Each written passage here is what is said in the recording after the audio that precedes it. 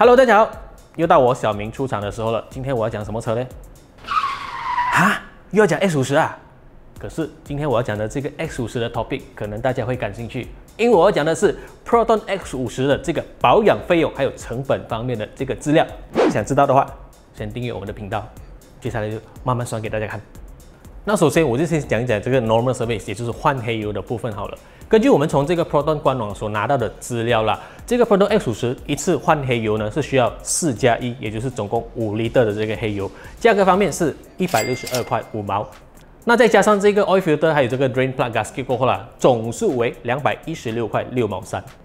那在这里我们也顺便就列出这个 Proton X 五十首十次的保养费用了。我们可以看到，平均每次这个 service 的价格呢，都是介于三百多到四百多之间。那这个其实是从这个官网所拿到的一个价格啦。那根据这个官网的这个呃 service，它其实是换蛮多东西的，像是每两万公里就换一次 fuel filter，还有 air filter，而每四万公里呢就会换一次 spark plug，还有这个 brake fluid，也就是刹车油。至于每六万公里呢，原厂会为你换这个 radiator 的 coolant。那在这里我做出这个列表给大家参考一下，这一些零件还有这个保养品的价格。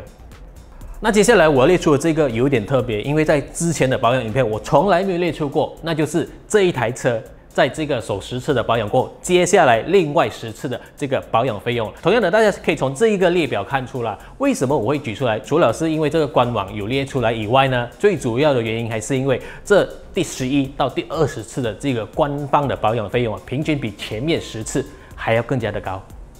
这一点呢是大家必须注意的一点。嗯，还有什么嘞？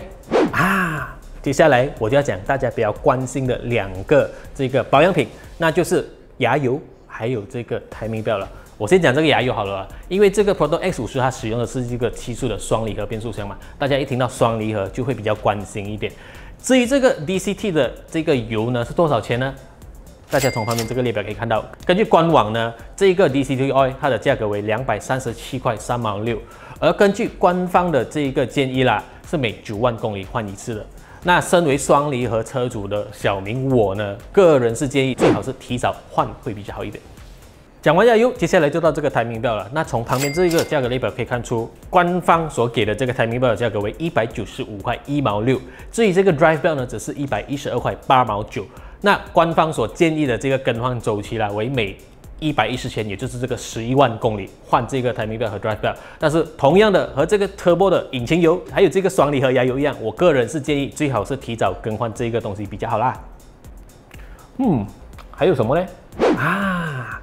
因为这个 X 五十是搭载这个三缸的涡轮增压引擎，三缸的引擎很多人就会关心啊，这个三缸会不会抖？那抖。都主要是靠这个 engine mounting 来 hold 着嘛，所以在这一方面，这个 engine mounting 呢，可能也是大家很关心的一个东西。但是我们在向这个 Proton 询问了过后啦，直到这个影片拍摄的时候，他们还是给不到我们一个这个 Proton X 五十 engine mounting 的这个价格，还有这个更换周期的详情。而也因为这台车是一个中国车，所以我们在我其实也是有在这个网上找了很多资料，包括上某宝。去寻找这个东西的价格啦，啊，但是都是资料不多，所以在这个 NG 毛钉上呢，其实我们暂时还给不出一个价格。这一点呢，我觉得一切还是以这个 Proton 官方的公布为准啦。那我们就一起拭目以待吧。那讲完刚才那些保养品以后呢，接下来我要讲的这个也是蛮重要的一个部件呢，那就是轮胎了。那这个 Proton X 五十它其实在轮胎的部分是有两种尺寸的，分别是 Standard 还有 Executive 车型所使用的这个二一五六十 R 十七，以及 Premium 还有 Flagship 车型所使用的二一五五十五 R 十八两种尺寸。那这个十七寸的轮胎呢？它的价格方面呢？因为其实这一个尺寸呢，我在问了这个轮胎店后，其实他们是告诉我说，这个尺寸比较不普遍的一个尺寸，因此价格方面呢，目前来讲暂时还是比较高一点的。十七寸的轮胎平均一条价格啦，都是要四百多到六百多令吉之间一条哦。那这个六百多的是这个 Michelin Primacy Four 啦，你要便宜一点的话是有啦，三百多你可以买到这个中国的轮胎，就看你要不要喽。至于十八寸的部分呢，平均一条的价格都是介于五百多到七百多令吉之间。同样的，七百多那个也是以这个 Michelin Premacy Four 来做一个呃例子。那同样、同样、同样、同样的，如果你又要便宜一点的话呢，这个十八寸轮胎也是有，你就选这个中国品牌咯，大概是四百多令吉一条啦。嗯，接下来就是这个刹车片哦。不过同样的，因为这个 Prodo X 五十太过新了，然后我们也是呃从那个原厂方面呢，也是暂时还调不到资料啦。然后我上网找了，外面也是几乎都没有这个 Prodo X 五十啊刹车片的价格，甚至连中国方面其实它的资料都是很少。那在这边我是觉得这个 X 五十，我们相信应该会和 X 七十的价格是差不多的，所以我们就直接以这个 X 七十来做例子好了。在这一方面，我们相信这个 X 五十它的刹车片方面价格。将会是大大概介于两百至三百多令吉起跳啦，主要是看你选择的这个品牌，还有它的这个性能是如何。那接下来这个我觉得也是呃 X 五十车主可能你必须要稍微留意的，那就是它的这个蓄电池，也就是所谓的电箱了。根据我们所得到的资料，这个 X 五十所使用的这个电箱呢是 DIN 六十 L 的一个尺寸，在这边我也列出这个价格给大家参考了。在这个方面呢，我们我要感谢这个新东信再次提供这个电池的价格。不过电箱方面，它的这个规格是蛮普通、蛮 normal 的，因为这台车其实也没有这个刹车功能，所以它的价格方面是不会太过贵。不过重点就在于它的这个寿命，可能大家就要留意一下了，因为呃，我们从这个 X 七十过往的经历，我们可以了解到。就是呃，X 七十它其实它的这个电池的寿命平均都大概是一年多，不到两年就差不多要更换一个新电池了。主要原因就是因为它的这个 GKUI 主机是蛮吃电一下的，很多时候你可能是已经是熄火了，然后已经是锁车了，但是它还是在后面一直跑着，就蛮吃电的啦。有也有不少车主之前就试过把车子放着一个礼拜，完全没有开车的的情况下呢，这台车就没有电了。我们相信这个 X 五十。因为同样使用这个 GKUI 系统的关系啦，啊，是很很强烈、很厉害，但是有也是有这个互联网功能，但是这一方面可能你就需要留意一下了。嗯，那讲到这里，我觉得差不多就是这样子了啦。那同样的，依照惯例，我在这里也列出这个 Prodo X 五十平均守五年或十万公里的一个保养总数，大家可以参考旁边这个列表。那既然我们刚才都已经列了。这个另外十次的这个保养，我顺便也就直接列出六年到十年一个平均的这个保养费用了。那大家从这两个列表就可以看出了，其实的确这个第十一次到第二十次的这个保养的总数了，的确是比头十次高出的不少。这一点大家必须留意一下。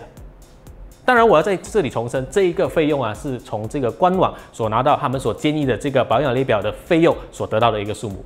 接下来就到这个呃汽车保险还有入税的部分了。这台车使用的是一个1.5 L 的涡轮增压引擎，所以在入税方面呢是每年一百块的一个价格。至于在 insurance 方面呢，大家可以参考旁边这个列表。那这个四大车型我们都可以看出，它每年的这个 insurance 的费用呢，平均都是介于一个两千多不到三千令吉的一个价格。当然，这一个费用呢是以这个零八线的 NCD 为例子。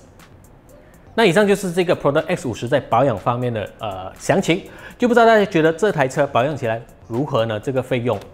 看了这些价钱过后啦，我只想温馨提醒大家，虽然说这台车它的价格可以用非常漂亮来形容，但是大家可别忘了，这台车是一台 SUV，相比起普通车款方面呢，某些部件的这个保养成本方面啊，的确是会高了一些，尤其像是轮胎啊这些等等的。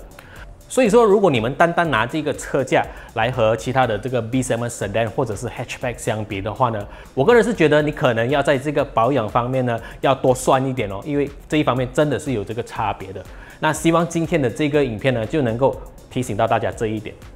毕竟买车容易，养车可不容易哦，蛮难的。